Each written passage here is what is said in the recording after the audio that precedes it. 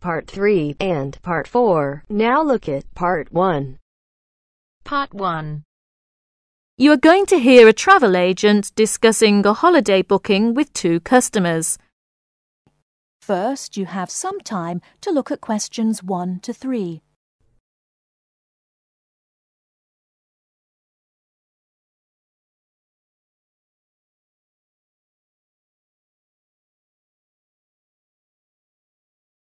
Now we shall begin. You should answer the questions as you listen, because you will not hear the recording a second time. Listen carefully and answer questions 1 to 3. Good morning. Can I help you? Yes, good morning. We'd like to book a holiday for July, please. Certainly. Where did you have in mind? Oh, well, we haven't thought a lot about it, really. We'd just like to go somewhere hot, you know, and it must be in July. I see. Well, let's get the dates cleared up first, then we can see about availability. What part of July were you thinking of? Oh, well, you see, we have slightly different holidays. I've got the whole month except for the last five days, so I could go from the 1st to the 26th. But my friend here doesn't start until the 7th, so I suppose it will have to be the middle two weeks, really. Yes, but I've got to be back before the 23rd. Okay. Now, let's find a destination. Before you hear the rest of the conversation, you have some time to look at questions 4 to 10.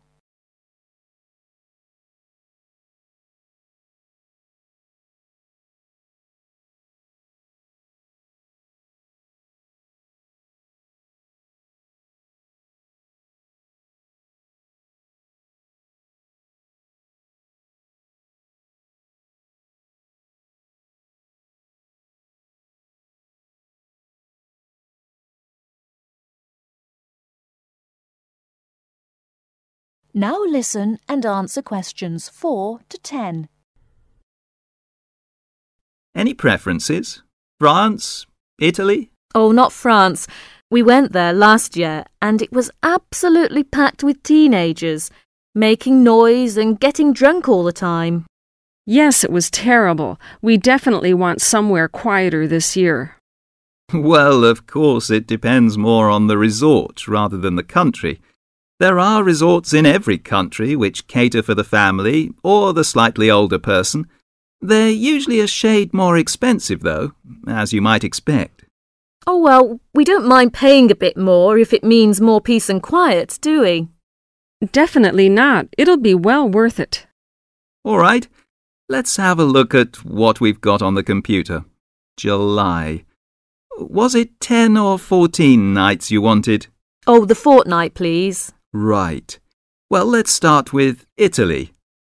Um, we've got 14 nights bed and breakfast in Sorrento for £345 from Manchester on the 14th.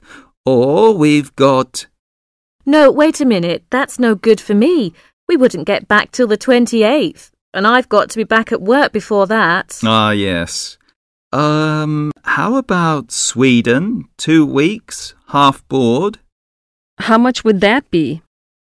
That would be £540 from Manchester again. Well, 540. Ah, that seems too much. Well, madam, there's a surcharge for the airport, and it has a five star hotel. Oh, well, it's a bit over our budget, really. All right, let's try somewhere else. How about Portugal? Oh, that sounds great. We've never been there before, have we? Let's see now. We've got 14 nights in Albufeira, half board, from Gatwick, for £385. Albufeira? Oh, wait a minute.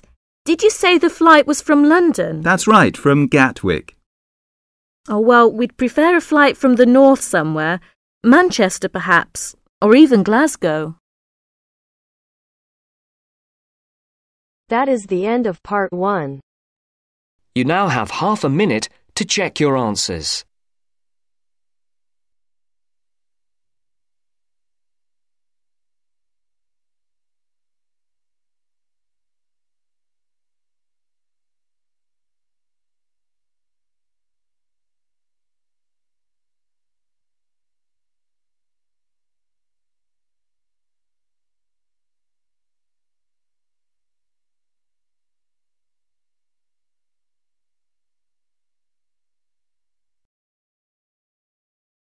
Now turns to part 2.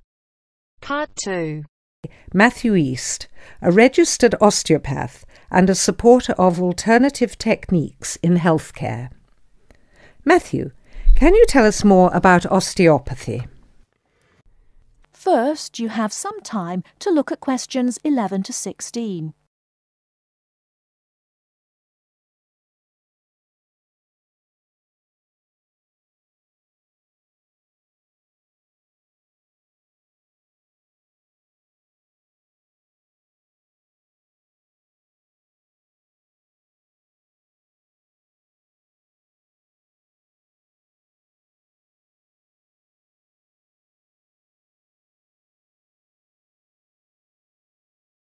Now, listen carefully and answer questions 11 to 16. Over the past 50 years, there have been some radical changes in medicine as it is known in the West. This is largely the result of vast improvements in technology, but also in the rising importance of alternative treatments. I have with me today Matthew East, a registered osteopath and a supporter of alternative techniques in healthcare. Matthew, can you tell us more about osteopathy? Well, perhaps the first thing I should say is that the term alternative is actually a little misleading, as I am referring to approaches and attitudes to health that were in common use long before Western medicine was established. I prefer the term natural. Anyway, I'll begin by telling you a little about osteopathy. Basically, osteopathy is the manipulation of muscles in order to alleviate stresses and tensions that lead to pain.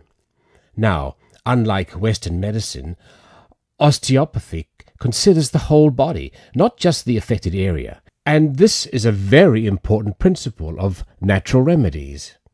The whole body must be considered before a course of treatment can be decided upon. You see, the aim of therapies like osteopathy is not only to repair the body, but also to get the body treating itself. And this does not come from treating the symptoms. To give an example, I recently treated a two month old baby who was screaming all day and was even worse at night. The couple had taken the baby to their doctor, but the only advice they were given was that the baby would grow out of it. However, the real problem stemmed from a difficult birth, which put pressure on the baby's neck. After 10 minutes of gentle manipulation, the pressure was released, and within 20 minutes the baby was quiet and calm for the first time. This was achieved without drugs or operations. Avoiding such invasive methods of treatment highlights another of the differences between Western medicine and a more natural approach. You see, Western medicine often uses surgery in order to find a solution to problems that could have been addressed with simple remedies. A medical approach that looks closely at how essential an operation is before it is performed would offer patients a considerably less stressful method of treatment, not to mention the financial savings. Natural remedies actually amount to about 10% of the cost of a Western course of treatment.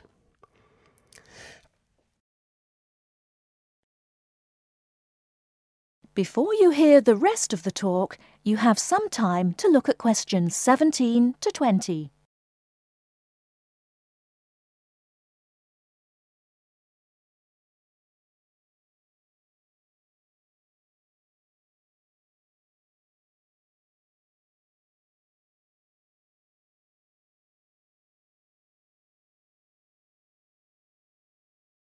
Now listen and answer questions 17 to 20.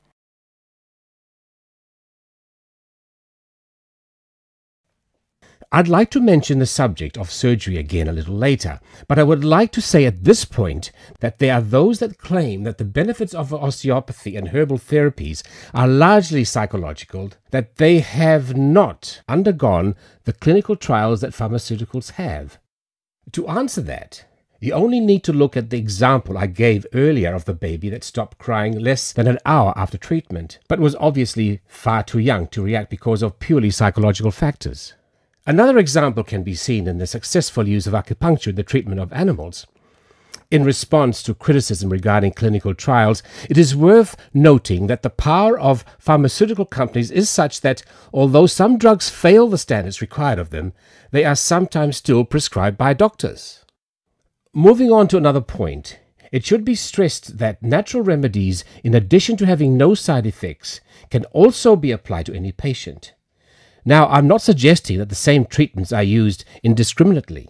Although natural remedies can be used with any age group, the treatment selected is very specific to the person. By this I mean that not only the general health of the patient needs to be considered, but also their habits, diet, and lifestyle in order to build a complete picture. However, I am not suggesting that we should reject Western medicine entirely. In fact, there have been occasions when I have referred patients to their doctor, as I felt that in those cases it was the most suitable course of action. There are many situations in which it is by far the best option. Take emergency surgery, for example. Obviously, more natural remedies do not provide the speed required in such cases. The best solution would therefore be an open minded combination of the two forms. Well, thank you very much, Matthew. That was a very interesting insight into alternative, sorry, natural treatments. Next week we'll be inviting Dr. Moore. That's M O O R E onto the programme to argue his case as a doctor. Until next week, then, goodbye. That is the end of part two. You now have half a minute to check your answers.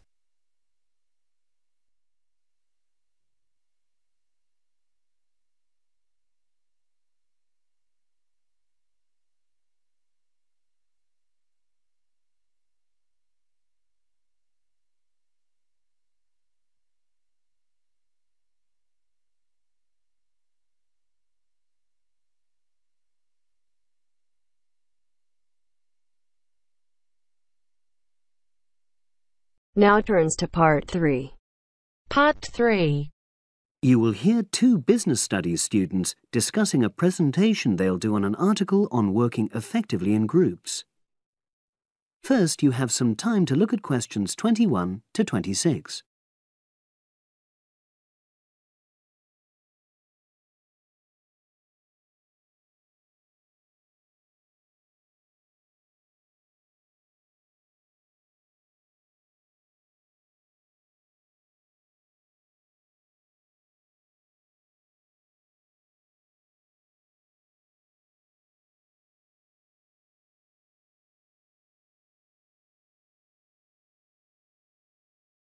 Now listen and answer questions 21 to 26.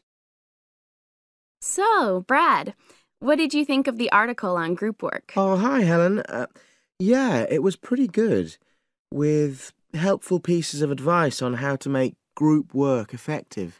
I think we were lucky to be given such a straightforward text to present at the management skills seminar. Yeah. Actually, shall we discuss it now? Have you got time? Sure, it's only a 10 minute presentation, so we just need to explain and then give our views on the main points raised in the article. I'll jot down some notes. Right.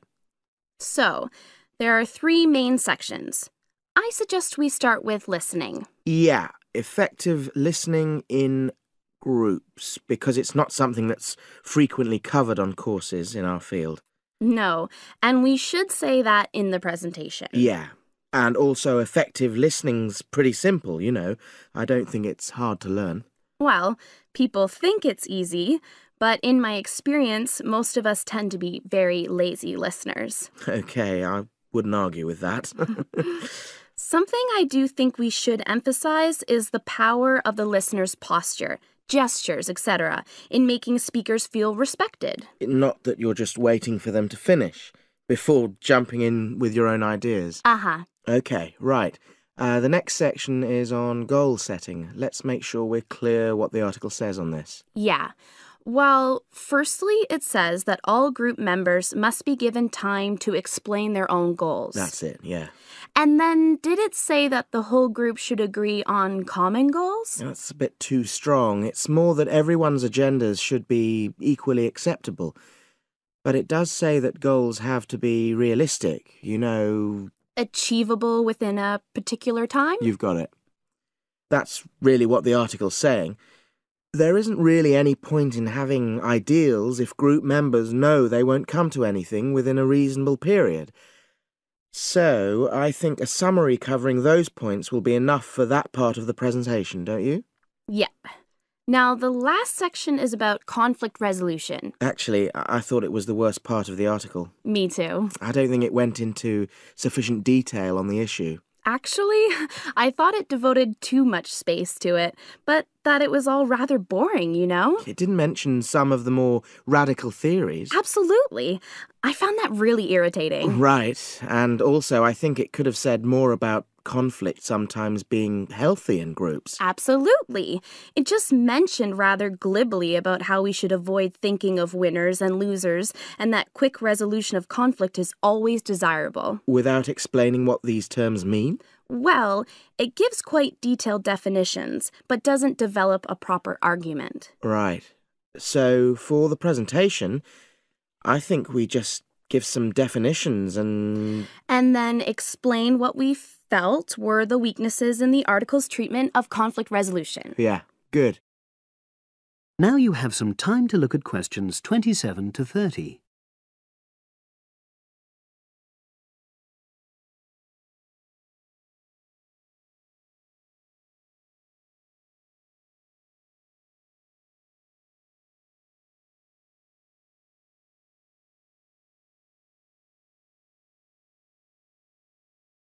Now listen and answer questions 27 to 30. So, let's think about what we have to prepare for the actual presentation. Well, I suppose we'll use PowerPoint, but I'm hopeless at using it, especially if it has any visuals. I really have to look into doing a course on it because I know I'll need it in the future. Don't worry, I'm quite happy using PowerPoint and I'll put it together when everything else is ready. That's a relief. But yes, do that later. Okay. Now, I heard the tutor saying we have to include some well chosen quotations from the article. I'm not sure if we do. I'll email him to find out. No need, I can just have a look at the specs he gave us when he set the task. That'll be quicker. But the tutor definitely said we have to prepare a handout to go with the talk. I'm not really sure how we do that. Sarah did one last year. Who's she? She's doing the same option as me on marketing. I'll ask her advice on what to include. Great. So that just leaves the bibliography at the end. I suppose it'll mainly be articles. Yeah. So we'll just look on the web, and we can leave that till later. But we've been advised against that. Well, we could have a look through some journals in the library. I think we should start by looking through module handbooks. I think that'll give us some good leads. Yeah, you're probably right. So that's all the topics. That is the end of part 3.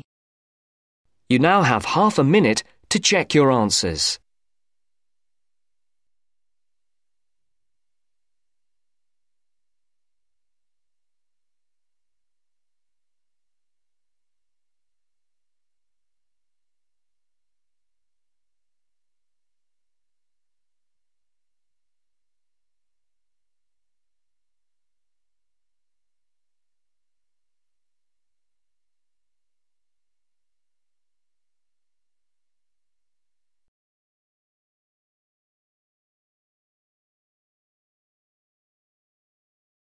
Now turns to part 4.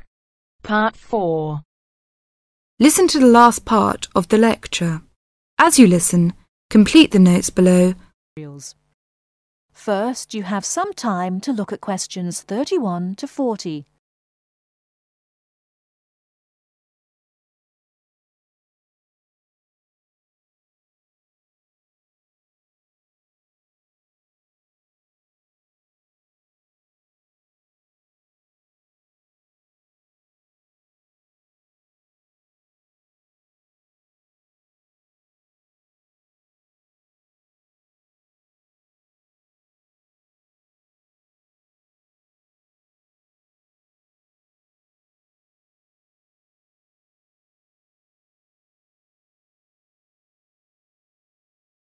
Now listen carefully and answer questions 31 to 40.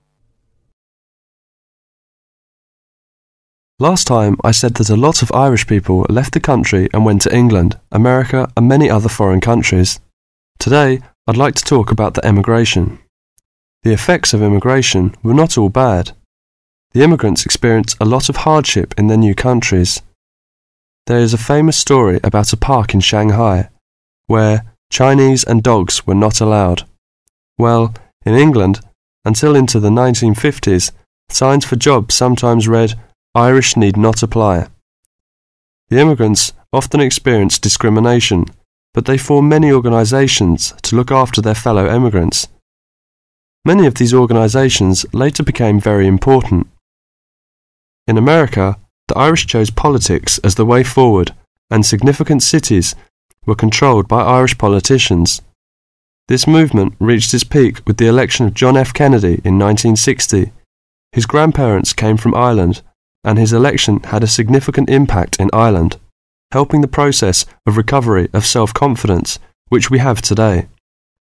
Today, there are 70 million people of Irish descent living outside Ireland. In America alone, there are 40 million people, and 10 million of these people have a 100% Irish background. They carried the culture of their home country with them and adapted it to their new home. They made changes which would be unthinkable in the home country, and we often laughed at the Yankees' Irishness. In fact, any immigrant who came back to live in Ireland, often after many years, found it very difficult to fit into Irish society again. They had been changed by the experience. These immigrants have always had an interest in the old country. The American letter was a letter containing dollars sent back to one's family. More recently, President Clinton has been very influential in bringing peace to the north of Ireland. Riverdance itself was the idea of a dancer who was American who applied American methods to traditional dancing, and the fusion was immediately popular. Modern Ireland has been able to use the disaster of the last century to learn modern marketing techniques and apply them, without at the same time losing what is distinctive about itself. Riverdance is a demonstration of that distinctiveness. That is the end of part 4. You now have half a minute to check your answers.